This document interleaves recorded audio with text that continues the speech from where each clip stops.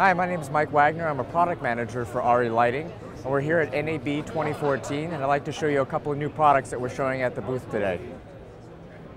So this is our L5. It's the smaller version of our L7 that's part of our LED Fresnel line. It's a brand new product. It's a 5-inch Fresnel lens. It's got all the same great features that the L7 has. So it's fully tunable. You could go from 2800 degrees Kelvin all the way up to 10,000 degrees Kelvin. You could add green or magenta to it if you're trying to correct to other sources. And it even has a color mode where you could adjust different kinds of vivid colors and also their saturation. And of course, it's fully dimmable.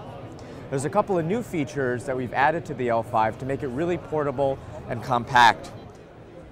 We have a couple of new connectors.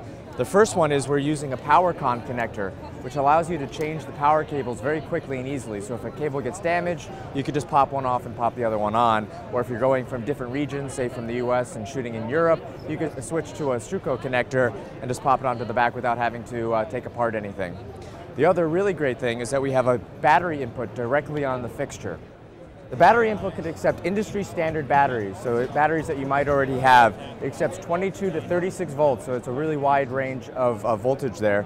And it, there's no additional hardware that is needed. You just connect a cable from the battery directly into the light, and you could power the light and have still full features. So you get the full brightness, uh, the tunability, you don't lose any features by using the battery option, and it really allows it to be a real mobile application.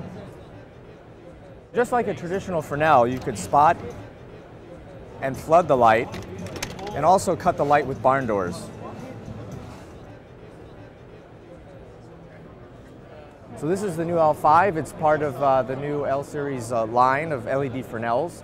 Uh, we're also working on, of course, a larger version of the L-Series line that will come out in the near future. The L5, though, is shipping uh, this summer uh, worldwide.